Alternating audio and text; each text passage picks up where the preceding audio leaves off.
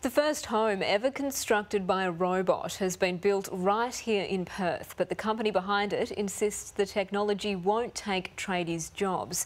Tonight we can show you an exclusive first look at the house that went up in less than three days.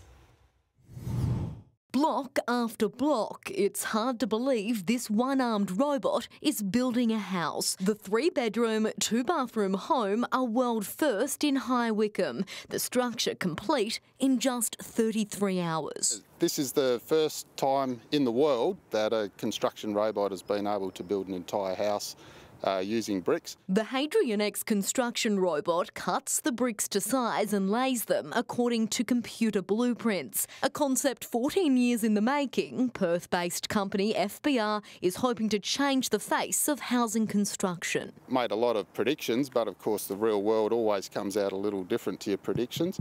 Uh, and as we learn about that, we're continuously making improvements. Right now, the machine can lay one of these blocks every 50 seconds. That's the equivalent to 12 of these traditional bricks. The engineers believe eventually they can get it to move four times faster. So when you think about that in the context of what we're trying to achieve, we're at least you know 20 times faster than a traditional bricklayer. The FBR machines only require a single operator and can build day and night. It means that some of the bricklayers, uh, uh, although not displacing them, will be redeployed onto more of the high value, uh, the craftsmanship type of uh, facades that you know builders and customers will still want.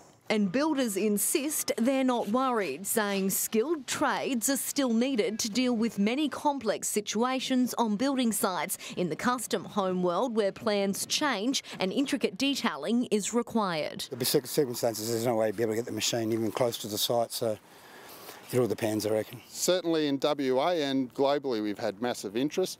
WA is really a proving market for us. Uh, we see Hadrian X as having truly global potential. Grace Fitzgibbon, 9 News.